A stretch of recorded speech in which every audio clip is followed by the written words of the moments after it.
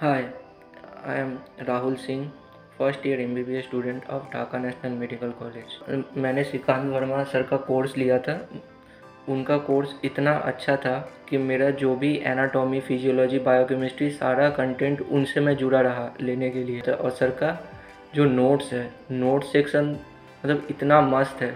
कि वो मतलब हम जब पढ़ रहे थे तब मेरे को रियलाइज़ हुआ कि एक्चुअली अगर कहीं से अगर मेरे को गुड डॉक्टर बनना है और मुझे अगर प्रैक्टिकल नॉलेज भी चाहिए तो श्रीकांत वर्मा सर का क्लासेस ज्वाइन करके मैं बहुत लकी फील करता हूँ कि सर का ज्वाइन मैं कोर्सेज ज्वाइन किया हूँ।